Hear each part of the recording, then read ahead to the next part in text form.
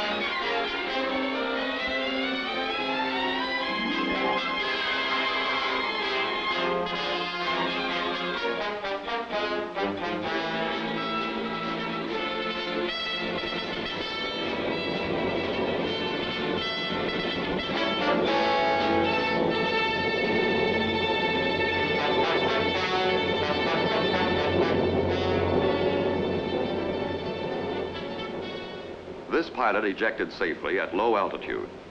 But in the water, his life is still at stake. He must be rescued. Successful pilot rescue begins with a knowledge of the proper procedures and techniques. Ship alongside is one of the procedures. Pickup made by bringing the destroyer to the pilot and hoisting him aboard using the rescue sling.